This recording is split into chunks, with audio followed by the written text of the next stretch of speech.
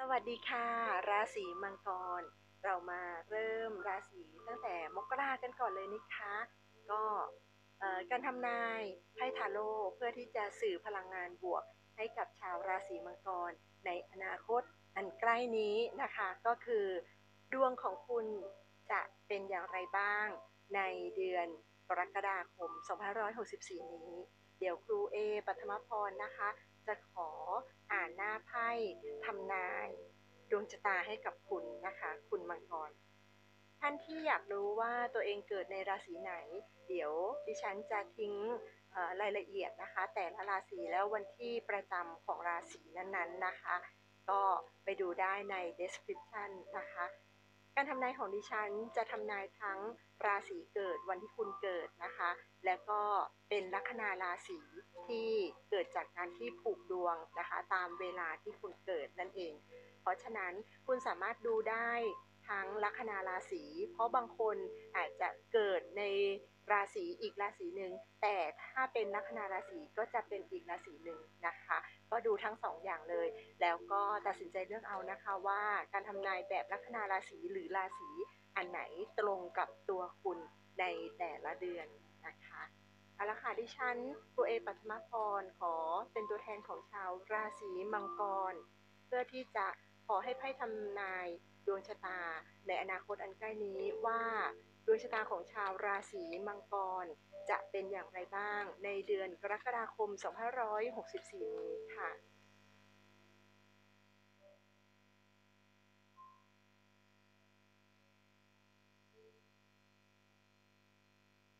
การทำนายของดิฉันนะคะ จะเป็นตัวแทนของชาวราศีมังกรจับไพ่เพื่อให้ไพ่สื่อพลังงาน สิ่งที่ไพ่อยากจะบอกอะไรให้กับชาวราศีมังกร เป็นการทำนายแบบ general reading หมายความว่า เป็นการดูแบบทั่วไปไม่ได้หมายถึงคนใดคนหนึ่งนะคะ เพราะฉะนั้นโปรดใช้วิจารณญาณในการรับชมด้วยค่ะ บางเรื่องอาจจะตรงกับคุณ แต่บางเรื่องที่ไม่เข้าหูเข้าตานะคะ ไม่ถูกอกถูกใจ ก็ปล่อยผ่านไป อย่าไปซีเรียสนะคะว่าไม่เห็นตรงเลย ชีวิตไม่เห็นจะดีอย่างคำทำนายเลย ก็คนเกิดราศีมังกรมีเป็นล้านล้านๆคนนะคะ เพราะฉะนั้นอาจจะทายตรงกับชีวิตใครบ้าง และไม่ตรงกับชีวิตของใครก็เป็นได้ค่ะ ก็โปรดใช้วิจารณญาณในการรับชมค่ะ อะไรดีก็รับเอาไว้ อะไรที่ไม่พึงพอใจนะคะ ก็ปล่อยผ่านไปก็แล้วกัน ถือว่าเป็นการมาฟัง เรื่องเล่า ที่ดิฉันอ่านจากหน้าไพ่เล่าให้คุณฟัง บางสิ่งบางอย่างนะคะ ก็อาจจะเป็นคำเตือนคำแนะนำนะคะ จากจักรวาลผ่านพลังงานแห่งไพ่ทาโร่ค่ะ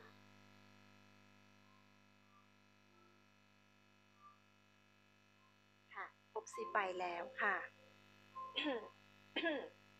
วันนี้อาจจะค่อนข้างเนิบๆนิดนึง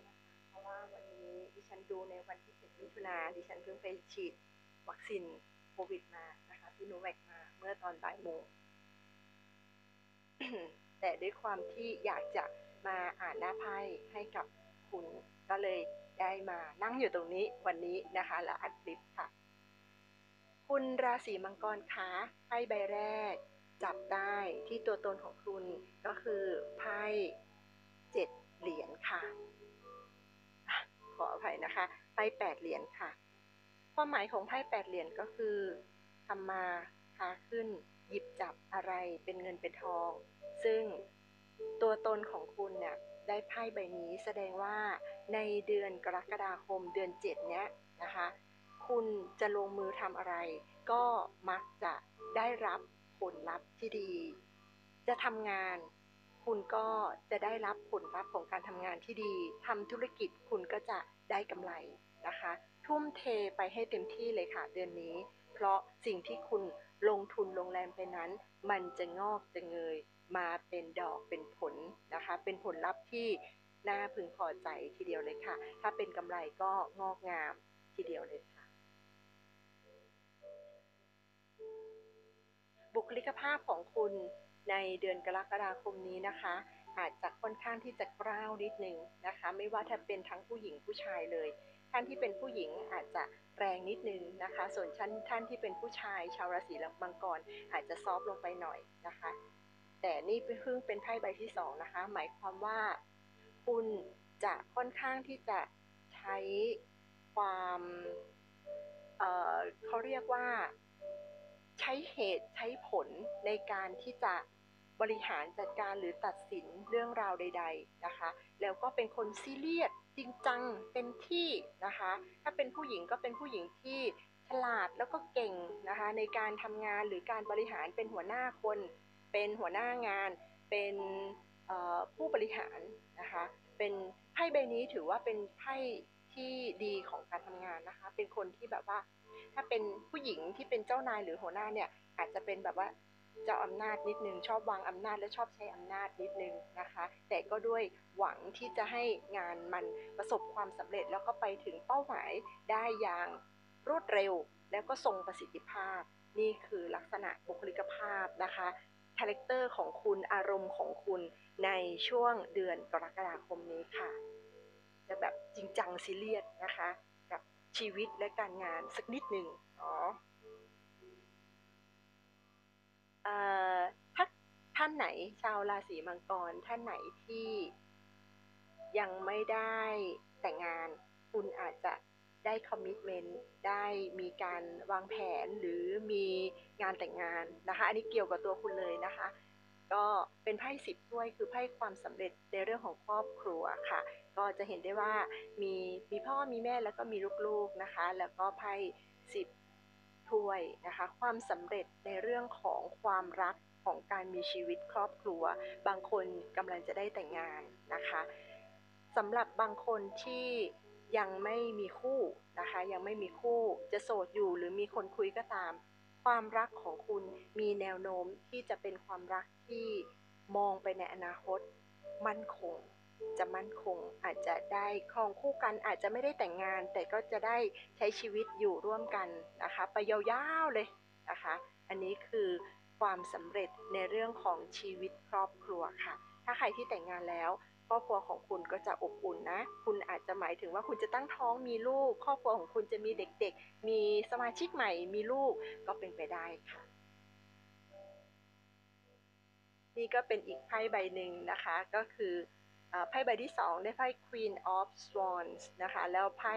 ใบที่4ก็ได้ได้เป็นไพ่ King of Swords มาทั้ง Queen ทั้ง King ทั้ง Queen เลยนะคะ ก็คือท่านที่เป็นผู้ชายก็จะซีเรียสในเรื่องของการทำงานนะคะ ก็จะมีเรื่องของความทุ่มเทแล้วใช้สติปัญญาความสามารถ แล้วใช้เหตุใช้ผลมากเลย แล้วเป็นเจ้านายที่แบบว่า ค่อนข้างวางอำนาจ เป็นหัวหน้างานที่ค่อนข้างที่จะแบบว่าจู้จี้ชี้นำนิดนึงนะคะ ใช้อำนาจหน่อยหนึ่งนะคะ ในช่วงเดือนกรกฎาเนี่ยอาจจะมีเรื่องของการใช้อารมณ์นะคะ ใช้ความรู้สึกที่ค่อนข้างเยอะหน่อยแล้วก็หนักแน่นแรงนิดนึงนะคะ ใช้วาจาที่มันแบบว่า เข้มแข็งนิดนึงนะคะ ในเรื่องของในชีวิตก็ตามในครอบครัวก็ตามอาจจะมีอารมณ์เนี้ยถ้าอยู่ในครอบครัวก็แบบว่าจะชอบแบบชอบจี้ชอบแบบเคร่งครัดนะคะซีเรียสเคร่งครัดกับลูกกับบุตรหลานบริวารอะไรอย่างเงี้ยในเดือนกรกฎาคนคนมังกรจะค่อนข้างแบบว่าจริงจังหน่อยนะ จริงจังนิดนึงนะคะ ด้วยอาจจะเป็นดวงดาวดวงดาว แล้วจริง ๆ คนมังกรก็เป็นคนที่ ค่อนข้างที่จะจริงจังกับชีวิตนะคะ เพราะฉะนั้นไม่แปลกที่จะมีไพ่ราชินีดาบให้ราชาดาบเกิดขึ้นมาในชีวิตของคุณ เพราะมันมาจาก character มาจากตัวตน มาจากพื้นฐานดวงชะตา อุปนิสัยของชาวมังกรเลยก็จะเป็นคนอย่างนี้นะคะก็ที่ผ่านมาเดือนมิถุนาหรือปลายปลายมิถุนาเนี่ยอาจจะเจ็บไข้ได้ป่วยมาแล้วล่ะนะคะ อาจจะเจ็บแบบ แค่ไข้หวัดหรือไม่ได้หนักหนาอะไร หรือเป็นแค่โรคกระเพาะเรื่องของลำไส้ปวดหลังหรืออะไรอย่างเงี้ยค่ะ ก็อาจจะผ่านมาแล้วนะคะ อาจจะผ่านมาแล้ว ก็ถือได้ว่าฟาดเคราะห์ไปละนะคะ ในเรื่องของโรคภัยไข้เจ็บที่ผ่านมา ก็ในอนาคตอันใกล้นะคะจะจะมีความปิติยินดีนะคะ อันนี้พูด พูดในแง่อาจจะไม่ไม่ค่อยเป็นบวกสักเท่าไหร่นะคะ ก็คือบางท่านชาวมังกรบางท่านที่เป็นลักษณะตามไพ่เนี่ยค่ะไพ่เก้าถ้วยเนี่ยก็คือไพ่ของป๋าไพ่ของอาเซียนะคะที่แบบว่าอาจจะมีเล็กมีน้อยนะคะ ก็อาจจะแบบแอบไปมี มีบ้านเล็กบ้านน้อยหรือมีกิ๊กมีอะไรเนี่ยนะคะ ก็จะมีโอกาสเป็นไปได้นะ ชาวมังกรที่เป็นมีมีอายุสักนิดหน่อยแล้วนะคะ แล้วก็อยู่เป็นคนที่มีฐานะแล้ว อาจจะมีโอกาสได้ไปแบบได้เลี้ยงเด็ก ได้ไปเที่ยว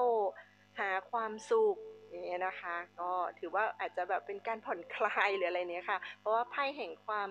ปิติยินดีภาคภูมิใจใน ฐานะของตัวเองอะไรค่ะมันขึ้นมานะคะ ในอนาคตอันใกล้ของคุณคุณอาจจะมีโอกาสแบบนี้ ถ้าเป็นผู้หญิงชาวมังกรก็ให้ระมัดระวังนิดนึงนะคะ ผู้ชายลักษณะแบบนี้จะอาจจะเข้ามาในชีวิตของคุณเนาะเป็นลักษณะแบบว่าป๋าจะมาทุ่มเท จะมาแบบเลี้ยง จะมาเปให้ อาจจะมีมีเข้ามา ซึ่งเขาก็ไม่ได้โสดนะคะเขาอาจจะมีครอบครัวแล้ว แต่เขาก็ยังแบบว่าอยากจะมา มาเกี่ยวข้องกับคุณนะคะ ถ้าท่านเป็นผู้หญิงชาวมังกร ก็ให้ระมัดระวังนิดนึงนะคะก็ชาวสีม่วง ชาวสีม่วงด้วยเหมือนกันนะ คุณก็อาจจะมีเรื่องของเรื่องราวของความรักความสัมพันธ์นะคะ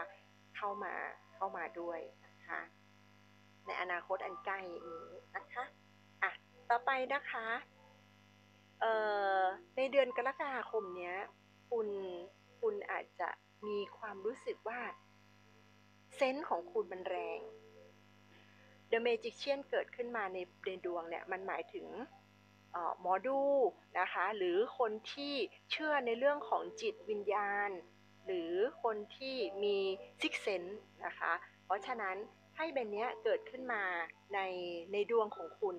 แสดงว่าให้คุณเชื่อเรื่องเซนส์ของคุณค่ะ ในเดือนกรกฎาคมนี้นะคะ ถ้ารู้สึกอะไรแปลกๆ ไม่ชอบมาพากลหรือว่าได้สัมผัสอะไรเนี่ย ให้คุณแบบฉุกคิดเลย ฉุกคิดถึงคำทำนายของดิฉันคำนี้เลยว่าเซนคุณแรงนะ ในเดือนนี้นะคะ หรือเดือนเดือนกรกฎาคมเนี้ย คุณอาจจะแบบว่ามีเรื่องเกี่ยวข้องกับแบบวิอยากดูหมอจังเลยอะอะไรอย่างเงี้ยประมาณนี้นะคะ มันจะเกี่ยวข้องกับหมอดูพยากรณ์นะคะ แล้วก็การที่แบบมีซิกเซนพวกนี้นะคะ จากนั้นนะคะไพ่ Knight of Wands นะคะไพ่อัศวิน อัศวินไม้เท้า กรกฎาคมนี้คุณอาจจะได้เดินทางนะ คุณอาจจะได้เดินทางข้ามน้ำไม่ใช่สิข้ามภูเขาแสดงว่าไม่ได้ไปทางน้ำหรอกนะคะ อาจจะเป็นการเดินทางที่แบบใกล้ๆไม่ได้ข้ามน้ำข้ามทะเลนะคะ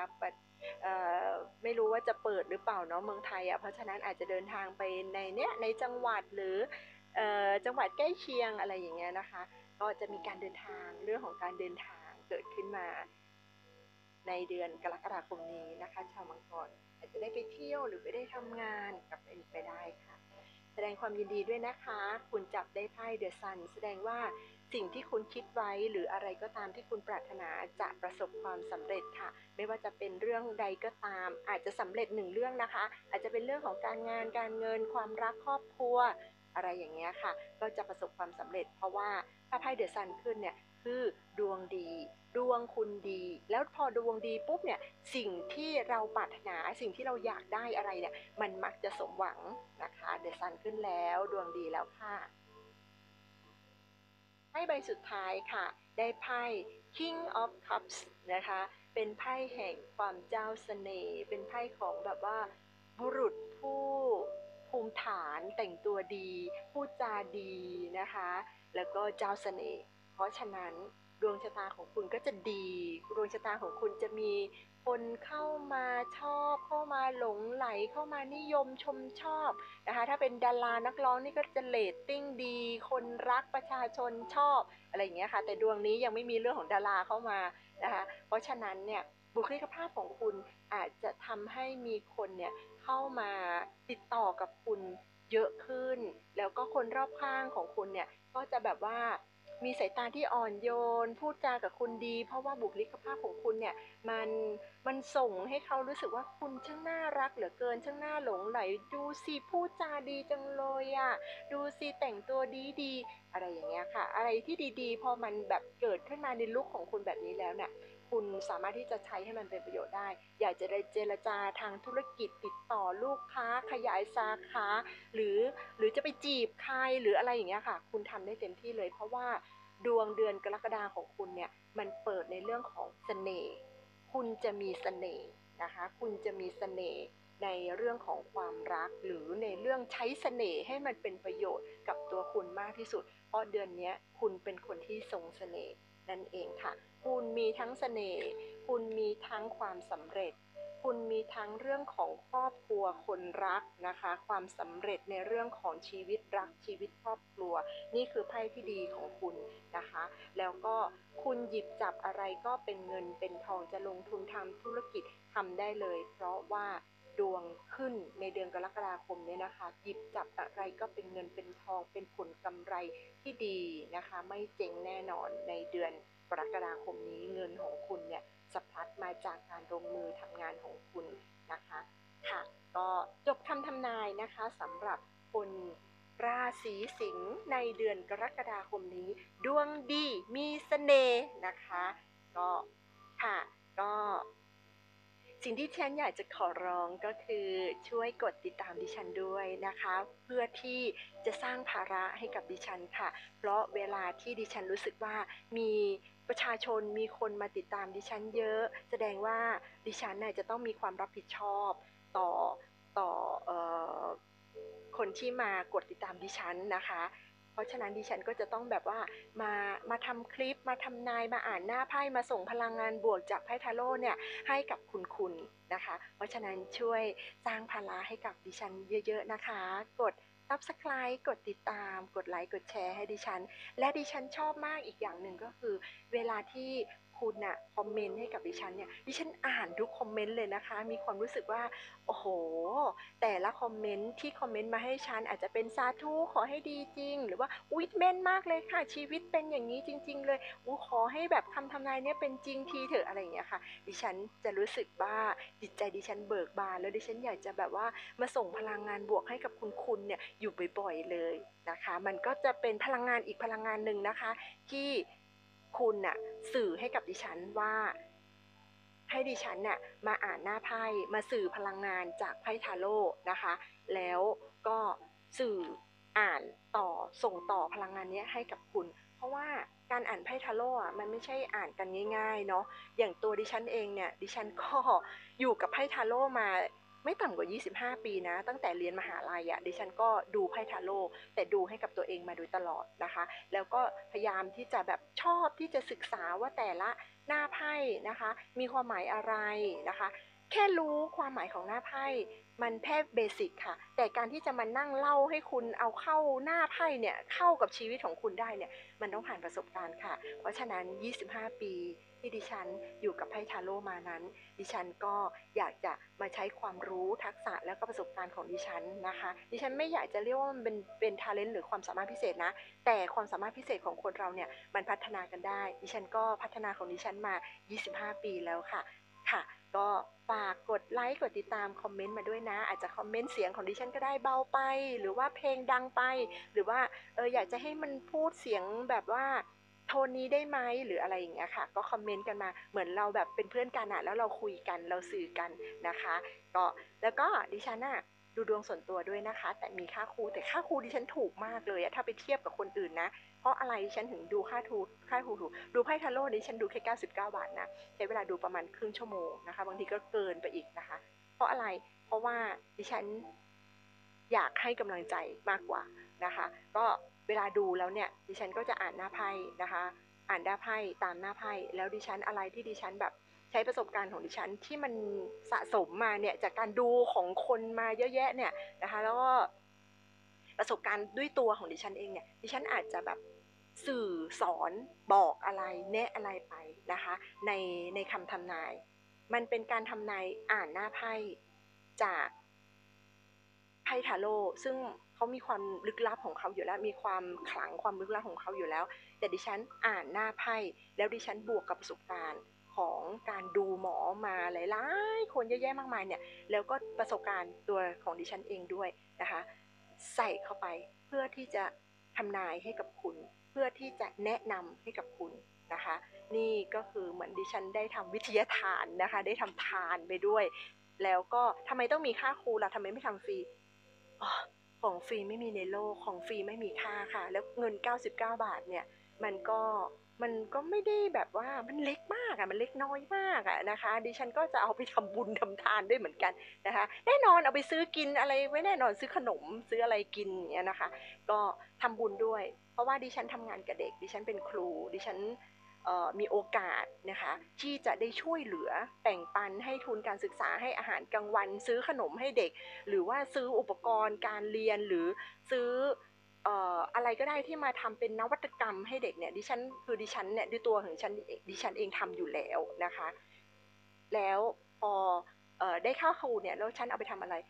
ดิฉันก็ไปทำพวกนี้แหละค่ะก็ไปต่อบุญนะคะ ไปทำบุญไปอะไรด้วยเหมือนกันนะคะ ก็ ถือว่าช่วงท้ายเนี้ยเราคุยกันคุยคุยเพื่อที่จะให้คุณน่ะได้รู้จักดิฉันมากขึ้นนะคะ ว่านิสัยของดิฉันเนี่ยเป็นยังไง แล้วก็ประสบการณ์ของดิฉันเนี่ยเป็นยังไงนะคะ ดิฉันเป็นคนคิดบวกเปลี่ยนตัวเองจากคนที่ที่เคยติดลบมาก่อน แล้วก็เปลี่ยนตัวเองพัฒนาตัวเองมาจนแบบเป็นคนคิดบวก แล้วพอเราคิดบวกปุ๊บเนี่ยชีวิตเราก็ดีขึ้นนะชีวิตเราดีขึ้นจริง ๆ เริ่มจากการความคิดเนี่ยแหละ นะคะ ก็สิ่งที่ดิฉันอยากจะฝากเอาไว้นะคะ ก็คือถ้าจะคอมเมนต์ของดิฉันเนี่ยค่ะคอมเมนต์อะไรของดิฉันเนี่ยกรุณาคอมเมนต์แบบบวกนะคะ เท่าที่ผ่านมาเนี่ย คน 98%จะคิดบวก จะเป็นคนดี แต่อีกมันก็มีค่ะในโลกของเราเนี่ย ไม่ว่าจะเป็นโลกทั้งโลกหรือประเทศไทยเนี่ย มันก็จะมีที่ลบเข้ามา เพราะฉะนั้น ดิฉันทำยังไงจัดการยังไงกับอคอมเมนต์ที่มันลบหรืออะไรดิฉันอ่านค่ะดิฉันอ่านทุกคอมเมนต์ถ้าไม่งั้นดิฉันคงไม่รู้ว่ามันมีใครที่คอมเมนต์ที่แบบลบๆมานะคะ อ่านแต่ดิฉันไม่ได้มีปฏิสัมพันธ์ด้วย คือดิฉันไม่ได้เปิดใจรับ อะไรที่มันเป็นลบดิฉันไม่เปิดใจรับ เพราะดิฉันในชีวิตของดิฉันเนี่ยมันผ่านประสบการณ์มาเยอะแยะมากมายดิฉันตัด ตัดอะไรที่มันเป็นลบไปละแล้วดิฉันสร้างตัวตนใหม่ของตัวเองให้มันเป็นบวก เพราะฉะนั้นถ้าในเมื่อมันมี comment ลบมาปุ๊บดิฉันก็ไม่มีปฏิสัมพันธ์ดิฉันไม่ได้เปิดประตูรับนะคะ แต่ถ้าใครที่ comment มาที่เป็นบวก ดิฉันเปิดประตูรับ น้อมรับ แล้วดิฉันก็มีเอฟเฟกต์ ตอบกลับไปทุกครั้งทุก comment นะคะ ถือว่าเป็นการสื่อสารแบบสองทางกันแล้วนะคะแล้วกันนะคะ ดิฉันสื่อสารออกไปแล้วคุณก็ comment สื่อสารกลับมาหาดิฉันนะคะ ก็ถือว่าเราเริ่มที่จะเป็นคนคุ้นเคยกันละนะคะ ดิฉันมาดูดวงมาทำนายมาส่งพลังงานบวก จากไพ่ทาโรต์ให้กับคุณคุณก็มี feedback กลับมาหาดิฉัน ถือว่าเป็นการปฏิสัมพันธ์กันนะคะ เป็นการ connection สื่อสารกัน นะคะ ขอให้ความสัมพันธ์เนี้ยมันยืนยาวต่อไปก็แล้วกันนะคะ เราจะได้มาดูดวงให้กันส่งพลังงานบวกให้กันอย่างเงี้ยไปเรื่อยๆนะคะ วันนี้ลากันไปก่อนนะคะ ขอบคุณมากค่ะ อย่าลืมกด subscribe กดติดตามดิฉันและก็คอมเมนต์ให้ดิฉันด้วยนะคะ สวัสดีค่ะ